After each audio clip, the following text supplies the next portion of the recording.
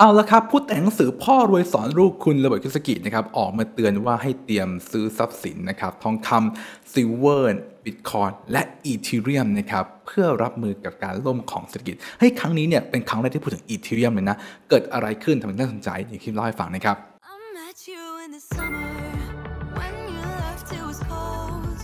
สวัสดีเพื่อนทุกคนนะครับผมคิมนะคุณอยู่กับช่องคิม property life ที่มาพูดคุยถึงเรื่องการเงินในโลกอนาคตไปด้วยกันนะครับในคลิปนี้จะชวนคุยนะครับเกี่ยวกับเรื่องของคุณ Robert Kiyosaki นะครับเอาจริง ๆ ถ้าเป็นใครเป็นแฟนคลับคุณโรเบิร์ตเนี่ยครับก็จะรู้ว่าเขาเนี่ยนะครับได้พูดถึงการล่มสลายของเศรษฐกิจเนี่ยมาเยอะแล้วนะครับหนังสือขายดีของเขาเนี่ยเช่น The Second Chance เนี่ยครับหรือว่าโอกาสครั้งใหม่มั่งคั่งอีกคนอะไรประมาณนี้นะได้บ่งบอกถึงว่าตอนนี้เนี่ยดัชนีต่างๆ ทั้งตัวเลขการขาดทุนของอเมริกาหนี้สินที่เติบโตขึ้นการพิมพ์เงินต่างๆนานนะครับมันเป็นสัญญาณที่กำลังบ่งบองว่าเศรษฐกิจอาจจะเกิดการแครชการล่มครั้งใหญ่ก็ได้นะครับ ซึ่งคุณโรเบิร์ตนะครับก็ได้เคยพูดในตอนปี 2008 นะครับว่าเศรษฐกิจเนี่ยมีโอกาสที่จะล่มนะครับ ซึ่งตอนนั้นก็เกิดวิกฤตเศรษฐกิจจริงๆนะครับแต่เขาเองก็แบบเท่เลยนะครับ ก็เป็นคนหนึ่งที่แบบต่อต้านแล้วก็ไม่ชอบพวกเงินกระดาษมาตลอดและให้คนเนี่ยแนะนำให้คนเนี่ยซื้อในทรัพย์สินที่มีค่านะครับก่อนหน้านี้เขาก็เลยเป็นสายทองคำนะครับสายอสังหาริมทรัพย์ตัวยงซื้อทรัพย์สินที่มีค่าอะไรแบบนี้ครับซึ่งช่วงหลังๆมาเนี่ยก็มีพูดถึงบิตคอยนะครับว่าบิตคอยจะไปแบบสูงมากเป็นดับเป็น 1 ล้านเหรียญเลยนะครับแต่มาวันนี้เนี่ยมี topic สำคัญอันหนึงก็คือเขาพูดถึงตัวชื่อว่า Ethereum ด้วยครับ Ethereum เนี่ยหรือเหรียญอันดับ 2 ของโลกที่รองจากบิตคอยเนี่ยเป็นครั้งแรกที่เขาพูดถึงคำถามคือเฮ้ยทำไมมันถึงมีมุมที่แบบเป็น safe haven asset หรือเป็น asset ที่เอาไว้รับกระจายความเสี่ยงรับแรงกระแทกจากวิกฤตเศรษฐกิจได้ มันมีพื้นฐานอะไรทำไมคนมันถึงมาพูดนะครับ และก็มองเห็นครับ ซึ่งในคำที่เขาพูดเนี่ยเขาบอกว่าตอนนี้เนี่ยนะครับโลกเนี่ยกำลังเข้าสู่ความเสี่ยงครั้งใหญ่นะครับในการเกิดวิกฤตเศรษฐกิจเช่นเรื่องของ Evergrande ผู้พัฒนาอสังหาริมทรัพย์รายใหญ่ของจีนมีปัญหาเรื่องหนี้ถูกไหมครับทั้งพรรคเดโมแครตริพับลิกันก็ทะเลาะตีกันอะไรแบบนี้นะครับบวกกับหนี้สินของอเมริกาการขาดทุนที่เติบโตขึ้น การล็อกดาวน์การเกิดโควิดต่างๆนะทำให้เขาเนี่ยรู้สึกเริ่มมั่นใจขึ้นว่าวิกฤต หรือว่าแรงกระแทกครั้งใหญ่ของเศรษฐกิจเนี่ยจะเข้าใกล้แล้วนะครับแล้วเขาก็บอกเลยว่าเฮ้ยคุณควรซื้อพวกทรัพย์สินมีค่าอันเช่นแร่เงินทองคำบิตคอยอีเทเรียมกันได้แล้วนะครับก่อนจะเจอหายนะทางการเงินครั้งยิ่งใหญ่สุดในบริษัทครับโดยเขายังบอกต่ออีกนะครับว่าปกติเนี่ยเห็นคนชอบเถียงกันจังว่าจะเอาบิตคอยดีอีเทเรียมดีทองคำดีนะฮะเขาก็สุดตัวเขาไม่เข้าใจนะก็บอกหยุดพูดแล้วก็เริ่มซื้อเสียสักทีสินะครับซื้อไปเลยนะฮะเพราะว่าไม่มีอะไรที่แบบ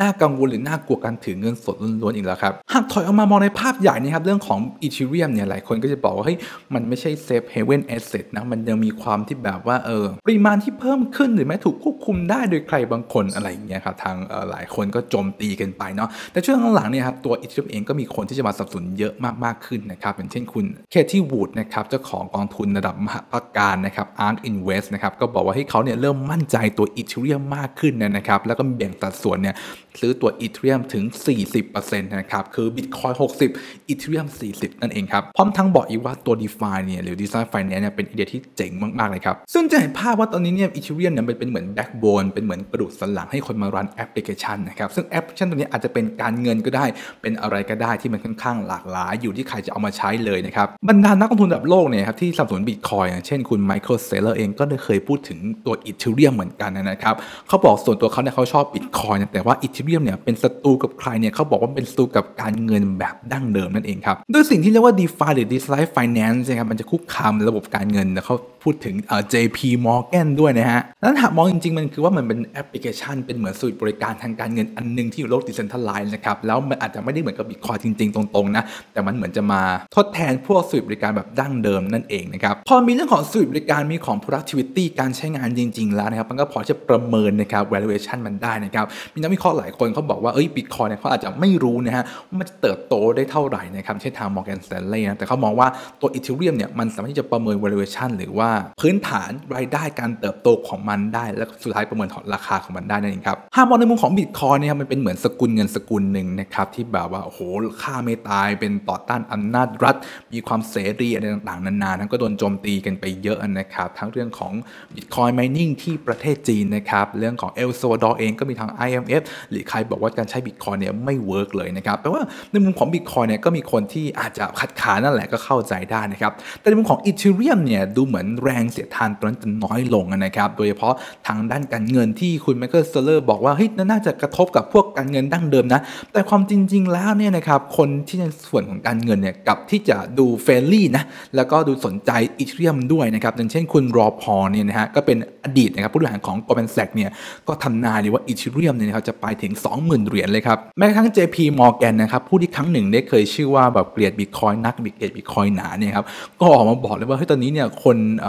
คนนักลงทุนรายใหญ่นะครับสนใจที่ลงทุนใน Ethereum นะครับมากกว่าบิตคอยเลยฮะในรายงานเนี่ยได้พูดถึงการซื้อพวกฟิวเจอร์นะครับว่ามีนักลงทุนที่แบบเข้ามาซื้อ futures ของ Ethereum เยอะขึ้นเรื่อยๆครับและซึ่งไม่ใช่ JP Morgan ที่เดียวนะครับที่มีดูความเป็น friendly นะเกี่ยวกับ Ethereum นะครับล่าสุดก็มี Mastercard UBS นะครับแล้วก็ JP Morgan นะก็แบบว่าระดมทุนนะครับให้กับสตาร์ทอัพตัวหนึ่งนะชื่อว่า ConsenSys นะครับถ้าผมอ่านผิดขออภัยนะครับ ก็เป็นคนทำเกี่ยวกับ Ethereum Blockchain Solution นั่นเองนะครับ ซึ่งก็คาดหวังว่าจะเอาไอ้ตัวเนี้ยโปรเจกต์เนี้ยมาพัฒนาอะไรกับทางแบงค์ได้เนาะเพราะตัว Ethereum เนี่ยมันเป็นเป็นเน็ตเวิร์กถึงมาให้ร้านพวก d a p หรือ Decentralized Finance ได้ดังนั้น สถาบันการเงินแบบดั้งเดิมเนี่ยแทนที่เขาจะต้องถูก disrupt นะครับด้วยเทคโนโลยีใหม่ แต่แบบนี่มันโลกทุนนิยมอะเราไม่เพียงต้องขัดกันก็แค่มาเอ่อเสริมความแข็งแกร่งให้กับโลกดั้งเดิมก็ได้สิครับให้เปรียบเทียบเหมือนเป็นอารมณ์เหมือนอินเทอร์เน็ตอะไรแบบนี้นะครับซึ่งจริงอยู่อินเทอร์เน็ตเนี่ยมันมา disrupt การส่งข้อมูลแบบดั้งเดิมถูกไหมแต่ว่าสถาบันการเงินดั้งเดิมหรือพวก banking system เนี่ยครับเขาก็แค่เอามันเนี่ยประยุกต์ใช้กับของเขาเอง